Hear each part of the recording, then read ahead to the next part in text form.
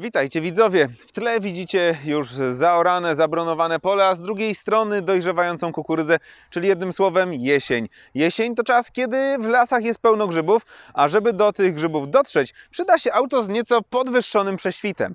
Auto takie jak stoi za mną, czyli lekko odświeżona Skoda Karoq. Skoda Karoq to średniej wielkości SUV Skody, czyli tak na dobrą sprawę taka Fabia na szczudłach, tyle że troszeczkę powiększona. Za to pod maską tego samochodu znajdziemy silniki zdecydowanie bliższe tym z Octavii.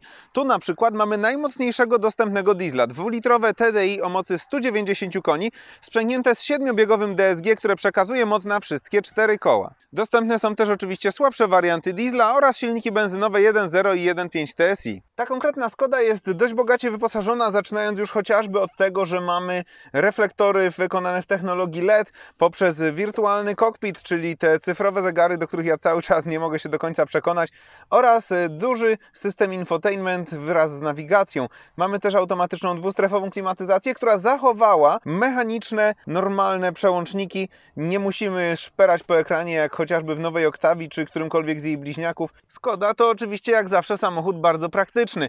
Mamy tutaj bardzo duże kieszenie w drzwiach, mamy dodatkowy schowek, tutaj dodatkowy schowek pod podłokietnikiem, który ma na dodatek regulowaną wysokość, duży schowek przed pasażerem, kolejną skrytkę tutaj przed dźwignią zmiany biegów wraz z ładowarką indukcyjną.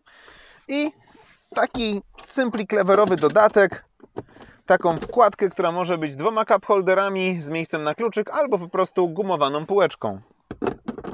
Jak to w obecnych czasach bywa, wnętrze tego samochodu zdominowane jest przez czerń, bo mamy chociażby czarną podsufitkę, ale na szczęście rozweselają to wnętrze bardzo duże połacie jasnego plastiku, wprawdzie dosyć twardego tutaj na drzwiach, ale jednak miękka jest za to ta część deski, miękka jest góra, tu już znowu jest twardo, ale jest jasno, dzięki czemu mamy wrażenie przestronności tego wnętrza, które dodatkowo podkreślają ambientowe elementy, które znajdują się i na drzwiach, i w desce rozdzielczej. Jasna jest także środkowa część siedzeń, chociaż sama ta tapicerka jest dosyć szorstka. Osobiście uważam, że może ona być po prostu nieprzyjemna w lecie, zwłaszcza jeżeli będziemy chcieli jeździć w krótkich spodenkach czy e, w koszulkach z krótkim rękawem, to po prostu zwyczajnie będzie ona nas podrażniała. Miejsca w środku nie brakuje. E, siedzenie można elektrycznie wyregulować jeszcze dalej do tyłu. Dla mnie w tym momencie miejsca jest wystarczająco dużo, jestem w pozycji prawidłowej. Osobiście obniżyłbym jeszcze co nieco kierownicę i sam fotel. Wtedy czułoby się tutaj może, no nie chcę powiedzieć sportowo, ale troszeczkę bardziej mm, dynamiczną pozycję można by wtedy mieć. A jak jest z tyłu, jeżeli spróbuję usiąść sam za sobą?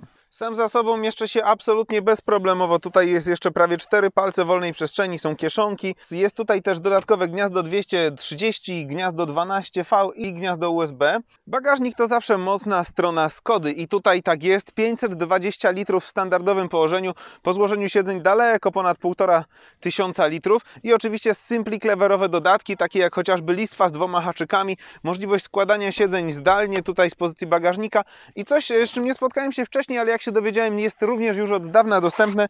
Takie dwie przegródki na rzepach, które możemy pod kątem 90 stopni zginać, dzięki czemu możemy wygrodzić kawałek powierzchni bagażnika, kiedy mamy na przykład jedną czy dwie siatki z zakupami, żeby nie latały one po całej tej ogromnej przestrzeni. Bardzo sprytne, dziwne aż, że dopiero teraz to spotkałem, skoro jest to już od dłuższego czasu na rynku.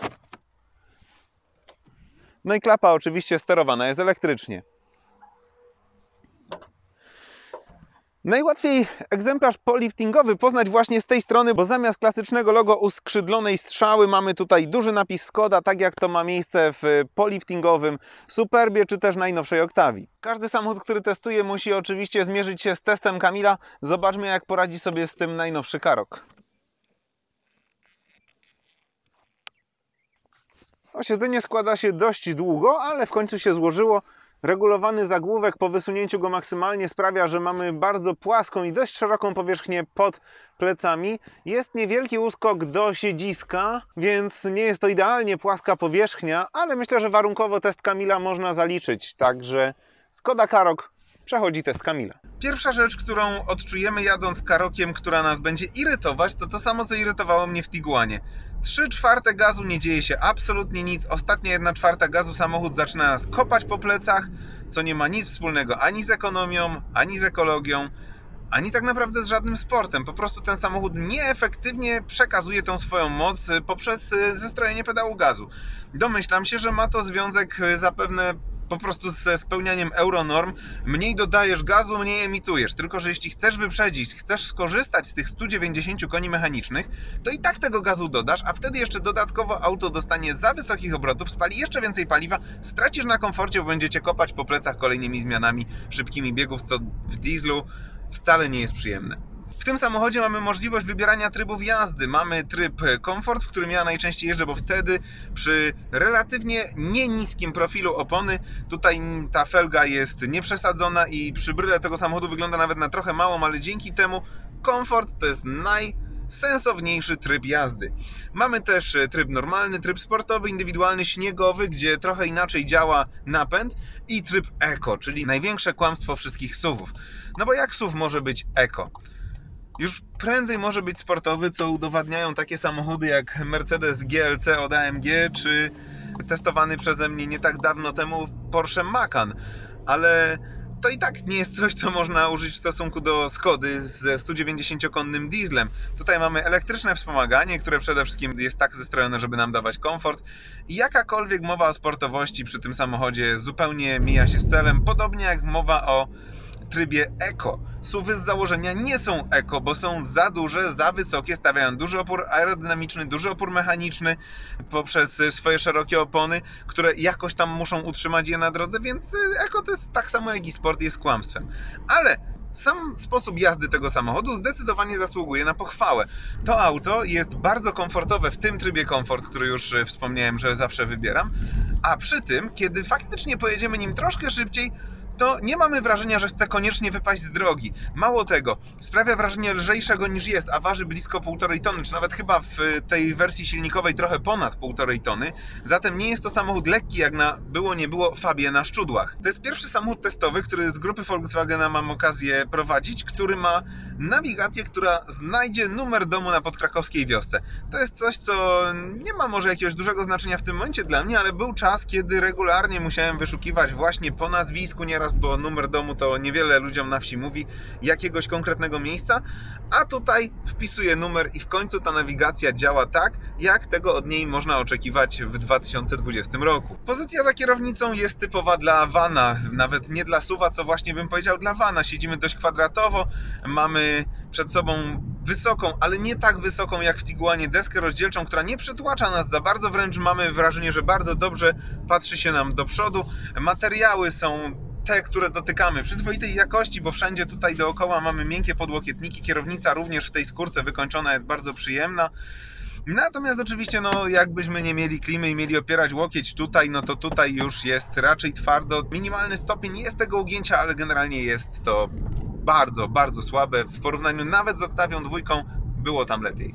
Praktyczna rzecz, na którą zwróciłem również uwagę, to jukebox, czyli tak naprawdę wbudowany po prostu dysk wewnętrzny w tym samochodzie, na którym możemy przegrać jakieś nasze ulubione piosenki, jakieś nasze ulubione albumy muzyczne i nie musimy mieć ze sobą pendrive'a, co swoją drogą również bez problemu może się też realizować, bo mamy dwa gniazda USB klasyczne, a nie USB-C, jak w większości w tej chwili już samochodów ekran nawigacji, który jest tą jedyną właśnie zmienioną w stosunku tak naprawdę do przedlifta rzeczą, też jest y, bardzo czytelny i przede wszystkim nie wystaje. To od razu rzuca się w oczy, że ten ekran nie wystaje.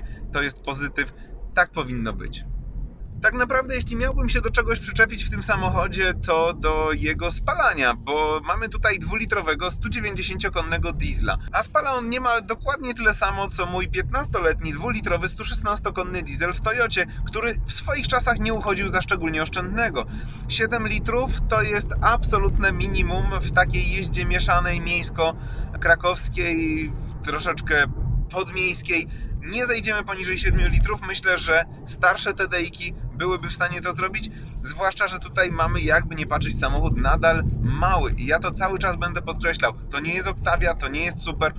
O, Superb z tym samym silnikiem przedliftowy Superb zadowalał się bardzo zbliżonymi ilościami paliwa, a jest to jednak samochód znacznie, znacznie większy. Zapowiadany od rana deszcz chyba wreszcie zaczyna padać, dlatego podsumuję szybciutko mój krótki test Skody Karoq. Skoda Karoq to rozwinięcie Volkswagena Tiguana pierwszej generacji. Jest ona od niego oczywiście lepsza pod wieloma względami, bardziej przestronna, ma więcej miejsca z tyłu, nieco bardziej przyjaźnie zaprojektowaną deskę rozdzielczą, która nie próbuje nas prawie że przysypać swoim ogromem.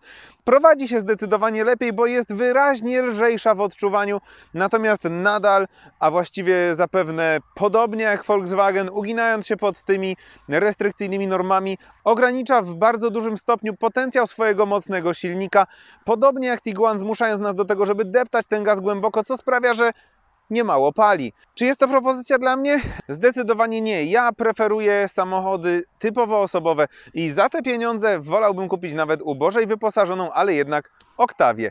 A jakie jest Wasze zdanie na ten temat? Podzielcie się nim w komentarzach. Bardzo Was też proszę o kciuki w górę i subskrypcję, dzięki czemu algorytm YouTube'a będzie kierował ten materiał do większej ilości osób zainteresowanych tego typu testami. Śledźcie również mój Instagram, żeby nie przegapić tego, co aktualnie testuję. Dziękuję Wam bardzo za dzisiaj i do zobaczenia.